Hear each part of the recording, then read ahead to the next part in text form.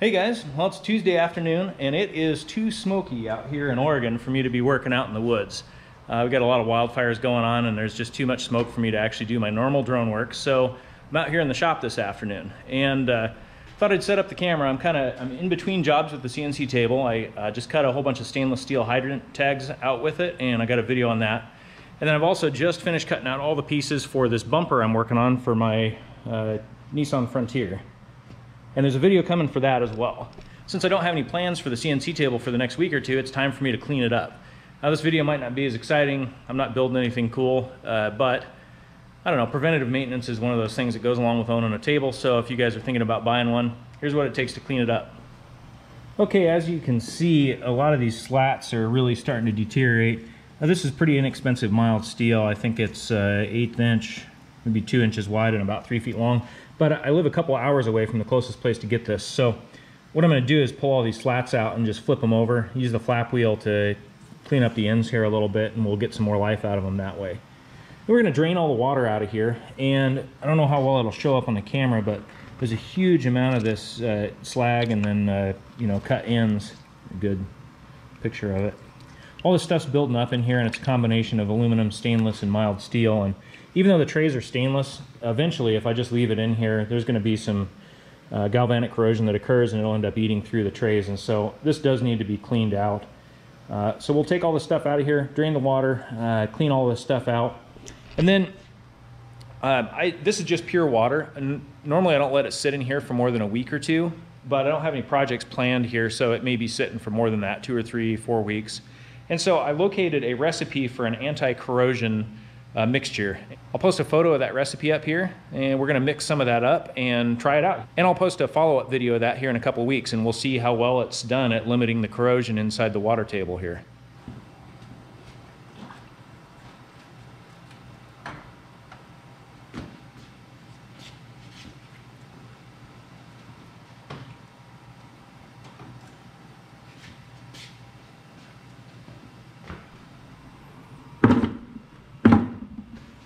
Let's get this thing draining. Looks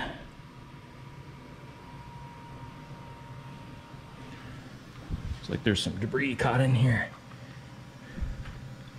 Perfect.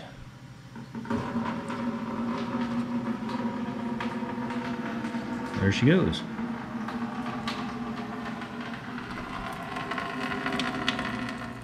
Okay, most of the water is drained out here except for what's basically above this lip right here and you can see there's a lot of this uh, slurry left over in here. And I suppose there's a few ways to get it out of there but uh, what I've done what I'm gonna do here is uh, I pulled the filter out of my shop vac and I'll basically just use the shop vac to kind of suck up this slurry right here and then we'll wash it out afterwards. That's how I've, that's how I've done it the last couple of times. It seems to work pretty good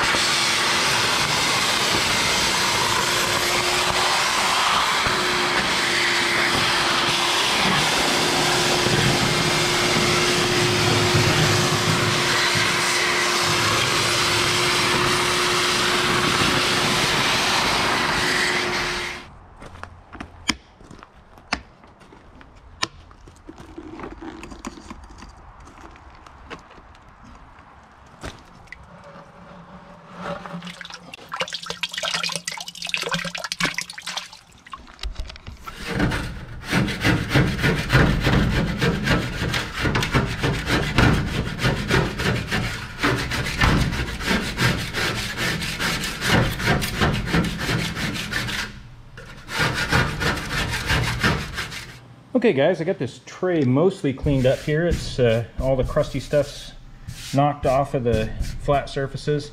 And uh, I did notice as I was scraping this, uh, you can kind of see here, I put a little bit of silicone around these. They have a rubber gasket, but uh, I definitely noticed that this one was moving on here. And of any place that I expect a leak to show up, I haven't had a problem with it yet, but of, of any place I expect a leak to show up, I would expect it right here. Yeah, so I pulled this bulkhead fitting out. This is what it comes with. And I mean, these are high quality bulkhead fittings, but uh, you can see the, the lip right here, plus the gasket's about a quarter of an inch.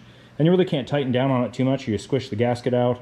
So when I put these in, I put a little dab of silicone on the, both the bottom and the top, and at least they weren't leaking, but you just can't tighten them up enough. And with that lip here, not all of the water drains out of the water table when I drain it. So I wasn't gonna do anything about it today, but changed my mind. What I've got is these uh, quarter inch NPT uh, nipples right here, and I've got a stainless steel washer, and this is about the right diameter, so I'm gonna TIG weld this to that washer, and then I'm gonna take this assembly and put it up from the bottom right here, and then I'll TIG weld this to that washer. And uh, assuming I do a decent job TIG welding, that will be a bomb-proof, leak-proof way of doing this. And then there'll be no lip whatsoever. I'll be able to actually drain all the water right down to this surface. So let's fire up the TIG welder and get to work.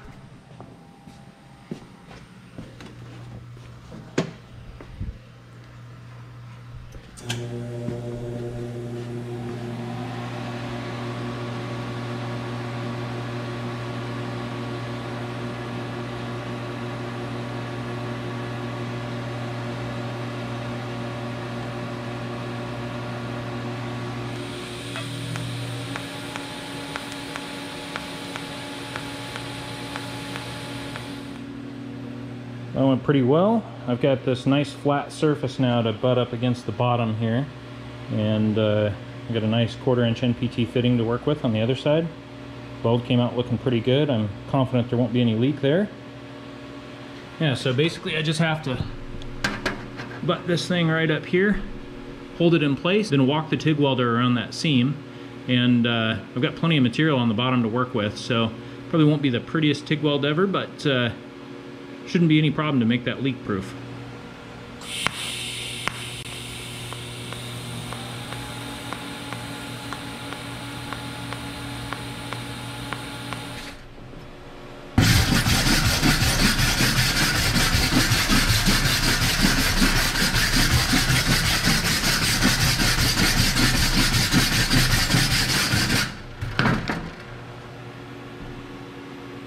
Well, I'll take it.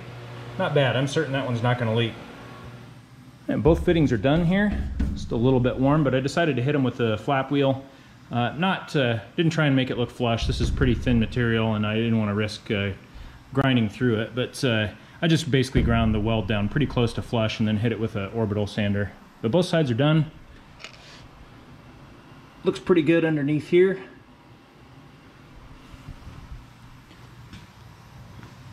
Think we're ready to put some fittings in this thing and uh, clean up our slats and fill it back up with our fluid.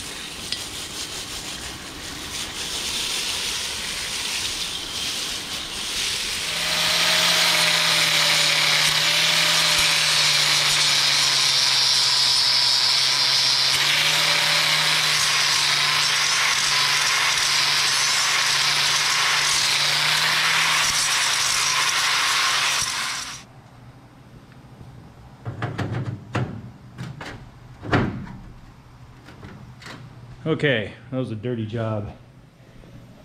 But, got all these slats cleaned up. You can see the, I got them upside down now, all the uh, marks are on the bottom. But everything's cleaned up and uh, reinstalled in the table. And we're ready now for the, uh, for the table fluid. Well, the main ingredients that we've added to our uh, concoction here is this uh, Physan 20. We just added a little bit of that, and uh, this is a basically keeps stuff from growing in the water. Um, this uh, sodium nitrite, nitrite with an I, not nitrate, uh, this is what keeps uh, rust from forming. And then we've added a little bit of green food coloring, and that's to uh, cut down on the number of people that are waltzing into my shop and drinking the fluid out of my CNC table.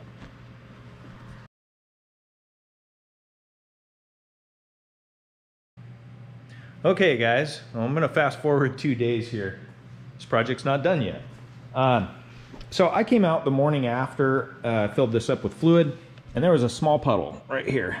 And what that meant was that the uh, the self-tapping sheet metal screws of the neoprene washers, one of those was allowing fluid down in this tube. It was running down here and then coming out where these self-tappers were. So I drained the fluid again and pulled all the self-tappers on this side because I didn't know which one was leaking. Then I shot a dab of silicone in each one, put them back in, and then filled it back up with fluid. Came out the next morning. There was a small puddle of fluid right under the center and the seam between the two pieces was wet.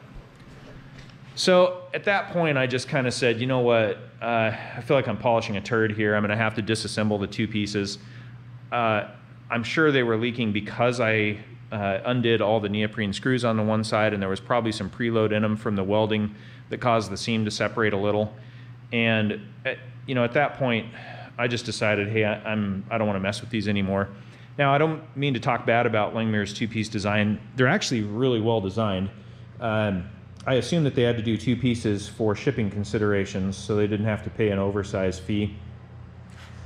Uh, now, when I attempted to weld this thing in here, uh, any welding is going to cause warp, warpage in sheet metal like this, but I didn't think it was going to be too bad because I was leaving everything bolted into place and I was using minimal filler rod and just using the TIG welder at really low amperage. And I mean, these aren't warped or buckled or anything like that, but there was probably, uh, the welding probably put just enough preload on them to cause just a minor separation. And I may have just been able to disassemble it and reseal it and put it back together, but I figured I was going to be fighting with the, the two-piece design from that point forward, and I, I just didn't want to waste any more time on it. So I have access to a pretty decent sheet metal shop in town. So I called them up this morning, sent them these dimensions, and a couple hours later they had this single-piece tray built for me. So this is also stainless steel. I had them put a cross break in it for rigidity and uh, also for drainage to the center. And uh, I had them put in a three quarter NPT drain fitting. Otherwise, all the dimensions are the same as the, the Langmuir one. So, we're gonna move forward with this. Okay guys, it's been, uh, I don't know, three or four hours since I filled the table up and we are leak free. So that's great news. Uh, these slats were submerged in this fluid for about 48 hours before, because uh, I had um, during my two previous leak checks. and I don't see any rust forming anywhere on them. Uh, this this rust that's on the top here, I just never cleaned off when I uh, cleaned these things up. But you can see where I ran the grinder. I mean, right at the surface of the water level, I have some uh, some bright metal right there, and there's no rust there, uh, despite the fact that these things have been submerged for 48 hours. So uh, I have uh, pretty good confidence that this fluid's going to work good to limit the corrosion that goes on in here. But we'll come back here in about a week, uh, maybe two, and check and see if we've got any rust forming on those slats or if we've got any other kind of weird corrosion going on in here. Uh, but really, looks pretty good to me. I think it's going to work just based on what I'm seeing so far. We've got our one-piece tray done and uh, no leaks or anything like that. So it looks like our CNC table's back in business. Well, it has been, uh, I believe, one week maybe six days. And still no leaks. And we are still completely rust free. This is awesome. Even all this exposed metal, this sh uh, shiny metal where I ground off the mill scale and everything, all that is still, there's absolutely zero corrosion anywhere on there. So I'm giving this concoction a thumbs up. It uh, definitely works. I mean, it, uh, I don't have any stuff growing in here. I got a couple dead dead bugs and things floating in here, but no rust and uh, no algae or scum or anything growing on here. So that's it. I'm, I'm happy with it. It was a pretty inexpensive mixture and I got enough to make up like, you know, 500 gallons of this. So pretty much just a lifetime supply. So that does it for this video. Thanks for watching. Uh, stay tuned. I've uh, got my bumper video on my Nissan coming up here pretty quick.